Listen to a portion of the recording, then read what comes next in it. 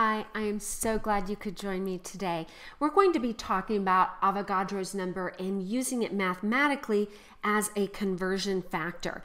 And so we're focusing, at least initially, on moving between moles and a count of particles, either atoms or formula units or molecules.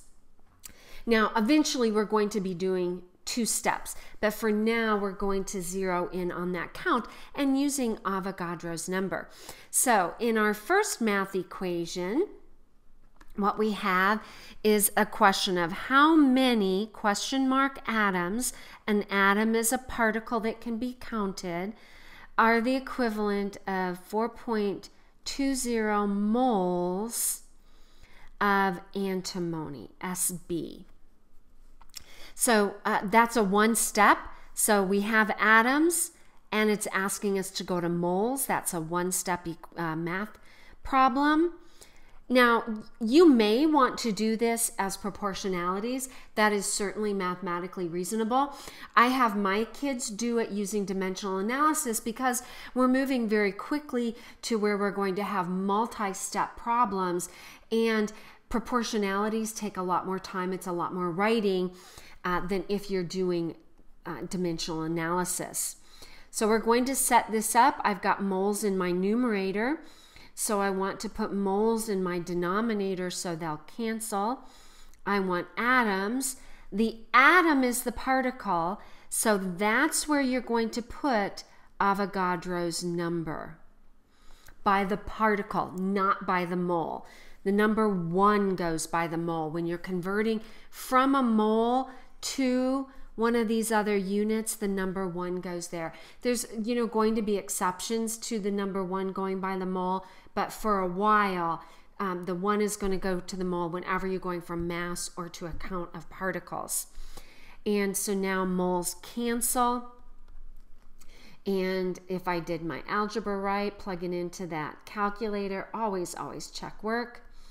10 to the 23rd atoms, make sure you include a complete answer, atoms of antimony, and I did that to three, which happens to kind of be the most common number of significant figures. Okay, now notice we are counting. An atom is something that you can count. When you are counting, you use Avogadro's number. You can do this. All right, let's try another one. This one is formula units. So question mark, if you don't want to write out the whole thing, question mark formula units are equal to 7.63 moles. A formula unit is a count, and so this is one step, 7.63 moles of sodium sulfate. And Let's see if I can get a red line here. You can also do it, you know, using the lines. Some people like this railroad approach. It can streamline things. I have moles in my numerator. I want moles in my denominator. I want to go to formula units. The formula unit is the particle that you can count. And so that's where you want to put your 6.02 times 10 to the 23rd, one mole. And the answer that I got is, whoops, 4.59 times 10 to the 24th formula units. Now, be really careful. I just got back from grading the AP test and I was really surprised by how many students forgot to bring that times 10 to the 24th down from their calculator. They're in a hurry, they're tired, and they just grabbed that 4.959 and forgot the exponent. Well, that times 10 to the 24th is really, really important. Magnitude is a very valuable part.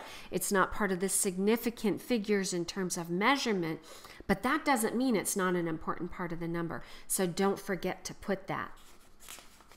All right, This next one, how many moles are in 9.1 times 10 to the 26th? So molecules to moles is a one step problem. So I like to use MLCL for molecules. All right, make the grid. I want to get rid of molecules and I want to go to moles. Which one of these are you counting? You count molecules, not moles. And so that is where our 6.02 times 10 to the 23rd goes per one mole. Okay. The other thing you can consider is you're not typically going to be taking a huge power and multiplying it by a huge power. That might help you make sure you set these up, make sure units cancel.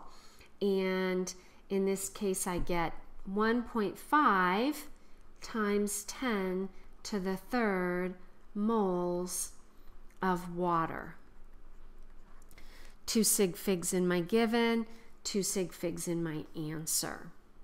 Okay?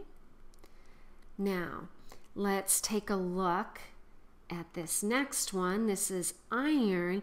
This time we're going to do two steps. All right, we're going to merge two together. So we've got 10.20 grams, and I want to know how many atoms that is. Well, we're going from weighing to counting. And to do that, you really need to go through that heart of chemistry.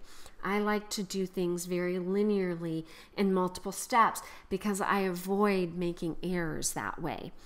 So we've got 10.20 grams.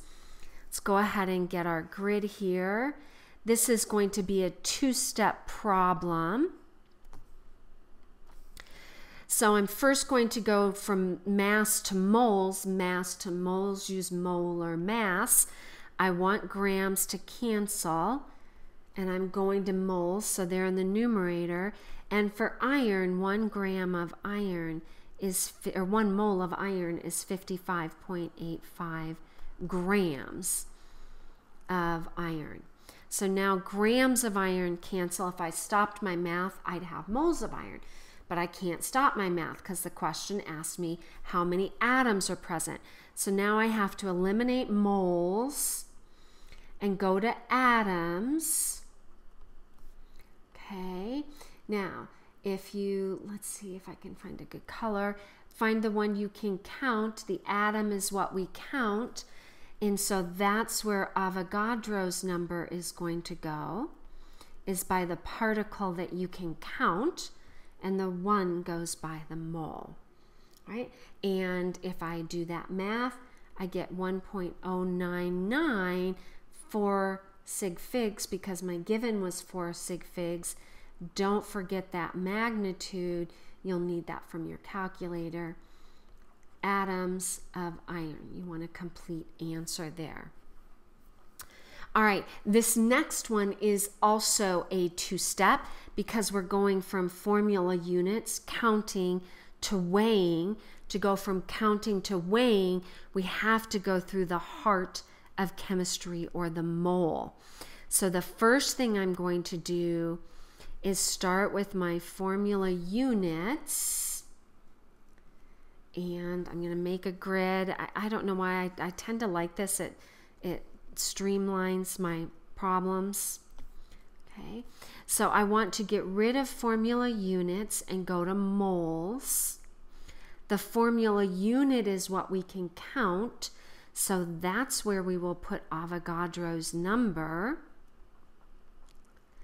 one mole. Okay?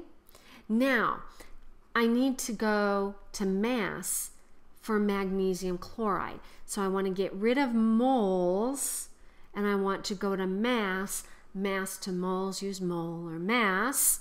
For every one mole, and you look at the periodic table, you add up one magnesiums and two chlorines, and you should get a molar mass of 95.21.